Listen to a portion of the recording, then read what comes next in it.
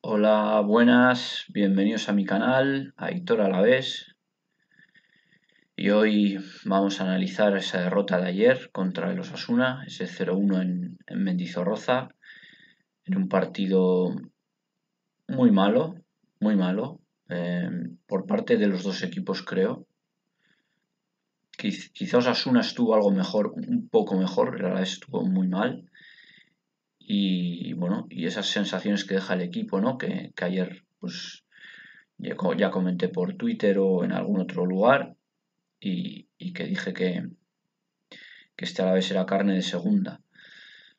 Bueno, quizá fueron también, eh, fue el momento de, bueno, pues de tristeza, de cabreo tras el partido, pero realmente la cosa pinta mal, pinta mal porque el equipo no, no, no, no, arranca, no. Ganó al Valladolid, es la única victoria desde que está Belardo en siete partidos, ocho si contamos el de Copa, solo una victoria, y luego tres derrotas seguidas, ¿no? Barcelona, Real Sociedad, bueno, em, viendo los partidos y viendo el rival eran derrotas asumibles, incluso por, por goleada, aunque Siempre parece que el equipo pudo hacer más y no perder por tanto, pero bueno, eran equipos potentes y se puede perder. Pero el partido de ayer era un partido que había que ganar, sí o sí, lo comentamos en la previa.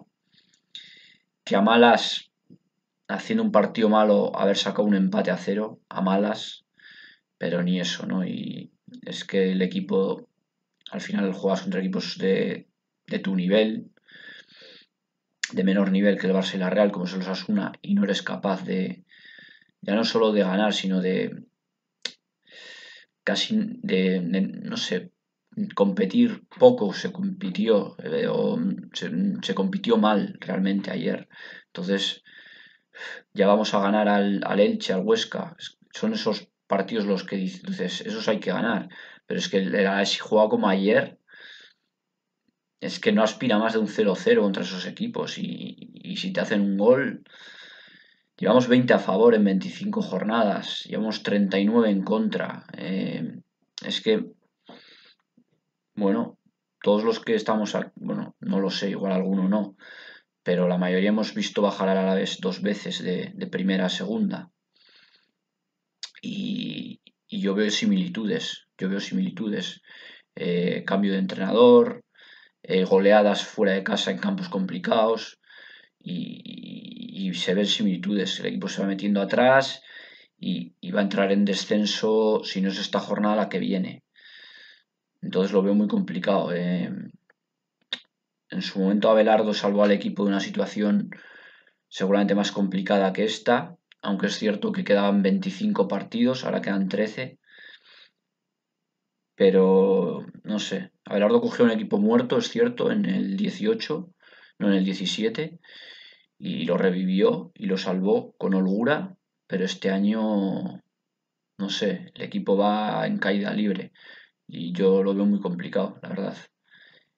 Que no hemos descendido, eso está claro, quedan 13 jornadas, son 39 puntos y se pueden sacar 15, por ejemplo, y salvarte con 37 puede ser, pero está muy difícil, está muy difícil y va a depender mucho de lo que hagan otros rivales, pues como el Huesca, el Elche, el Valladolid, el Eibar, el Cádiz y ya poco más, porque Getafe ganó ayer, mm, tiene 27, me cuesta creer que el Getafe se vaya a hundir, o el Valencia que también tiene 27.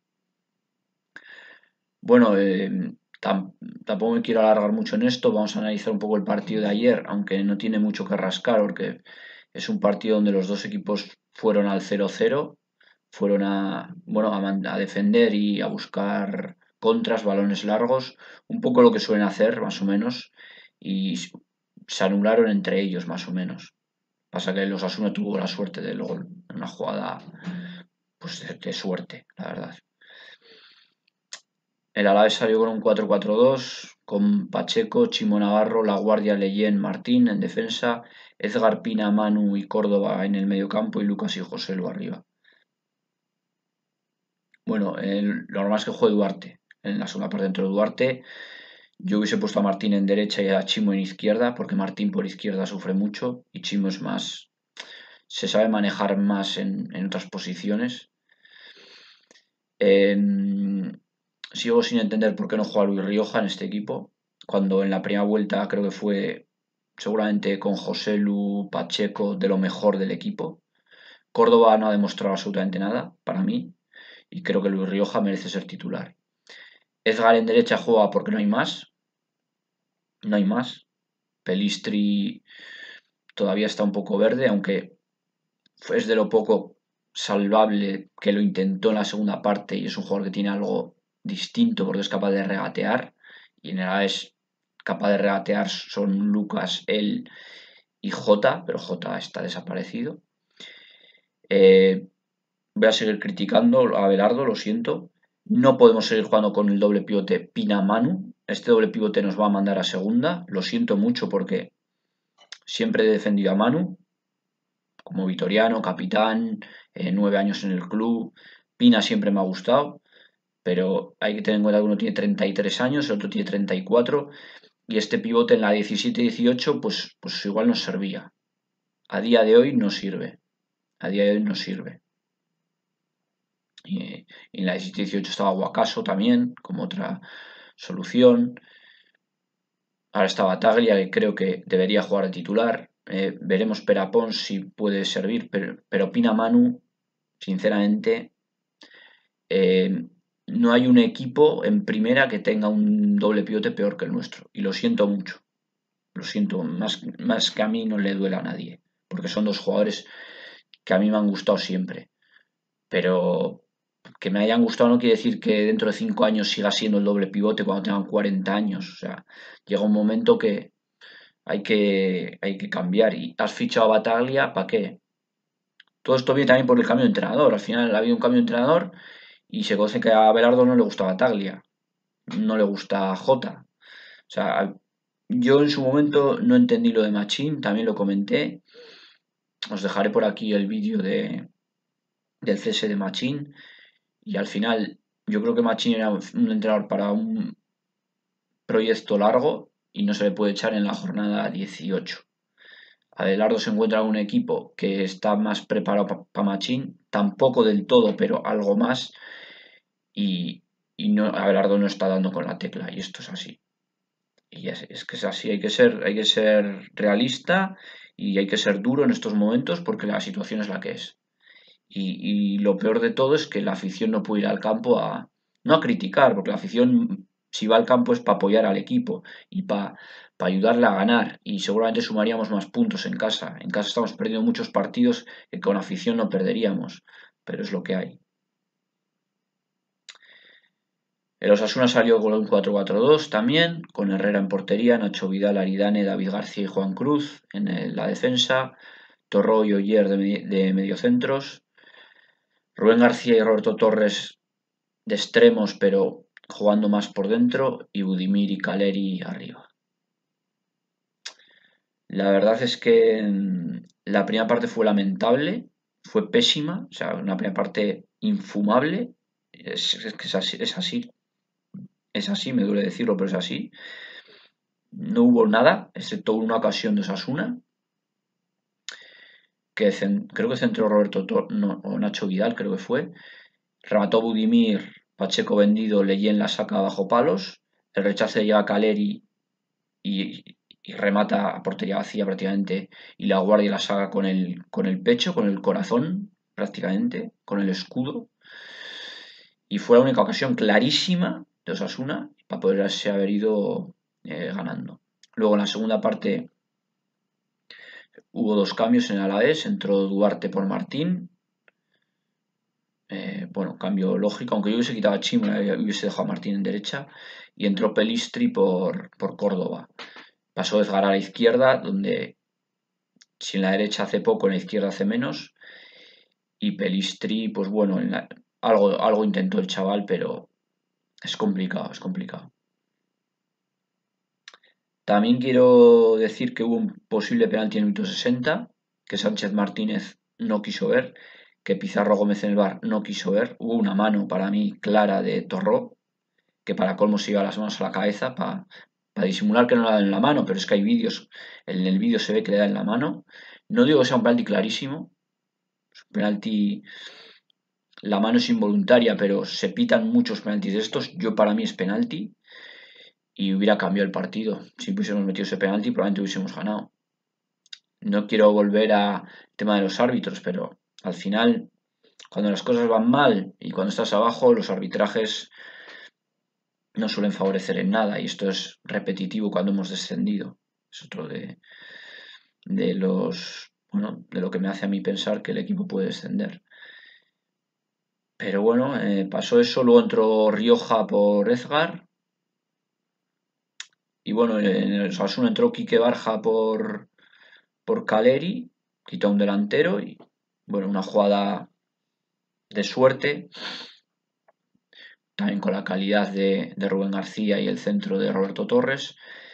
Budimir puede incluso hacer falta a Manu y luego le llega el balón aquí que Barja, Pacheco sale blando, ahí tiene que ir a, muerte y, le pega el balón aquí que Barja y entra de aquella manera. Minuto 78 y bueno, el Alavés con capacidad de reacción prácticamente nula. Entró de Iverson por Chimo y bueno, Osasuna se fue blindando, quitando a Budimir, metiendo más defensas, eh, metió a Moncayola, a Unai García. Bueno, de hecho, Moncayola había entrado antes del gol. Y nada, ya la vez ¿no? Si es que no, no tira. El único tiro a puerta fue el 93, en un buen pase de Lucas a Joselu. Tiró a donde estaba el portero, Herrera, y, lo paró. Fue la única, el único tiro a puerta del Alavés. Poco que decir en un partido muy trabado, con 38 faltas, 18 el Alavés, 20 de Osasuna, 53% de posesión para el Alavés, 47 para Osasuna, un tiro a puerta para el Alavés, 3 para Osasuna. Partido de 0-0 seguramente, pero sí que es cierto que el que tuvo alguna ocasión más fue Osasuna. 0-0 justo podría haber sido, pero quién sabe, si pita ese penalti Sánchez Martínez igual ganamos nosotros. Sí que es cierto que Osasuna hizo algo más, pero en general el partido de los dos equipos fue bastante malo, bastante pobre de ambos. Pero Osasuna tiene 28 y nosotros tenemos 22. Si Valladolid o Elche ganan, entraremos en descenso. La próxima semana jugamos lunes contra el Betis. Lo más seguro es que lleguemos a ese partido en descenso. Que luego el equipo gane al Betis, pues bueno, tampoco lo considero imposible, pero muy difícil, muy difícil. Este Betis no es el del año pasado y no es la penúltima jornada, que no se jugaba nada. Muy complicado. No quiero alargarme mucho más porque el vídeo ya se está haciendo demasiado largo. Pero las cosas pintan muy mal, hay que decirlo. Y el equipo necesita una reacción ya. Necesita ganar un partido ya. Y a poder ser dos seguidos. Mm, una reacción así. Si no, si no, no levantamos esto y no sacamos ni, ni 30 puntos. No sé cuánto se necesitará esta temporada, pero el Alavés mm, va a ritmo de sacar 30, no más. Entonces necesitamos una victoria, dos seguidas, una reacción. Si no hay esa reacción, no, no vale para nada ni cambiar de entrenador, ni... Yo creo que a día de hoy ya habría que seguir con Abelardo hasta el final y si bajamos, pues que sea con Abelardo. Y punto. Y poco más que decir, es que no, estoy tocado por, por, el, por, por la situación. Y encima eso, ¿no? El, el que, que ir a Ulcha, que la afición en general no puede ir al campo para apoyar al equipo, pues todo, todo, está, todo está yendo en contra. Eh, en el año del centenario, un poco triste todo y me duele, me duele mucho porque la ese es mi equipo y, y bueno, voy a, voy a terminar porque si no igual me pongo a llorar. Eh, una reacción, una reacción como sea, una victoria como sea cuanto antes, si no, esto no lo, sacamos. Así que nada, eh, suscribiros, darle al like, apoyar al equipo, los que seáis de la vez, y, pero bueno, poco, poco podemos hacer, la verdad, poco podemos hacer, los aficionados en este caso. Así que nada, un saludo, a la vez, Betty.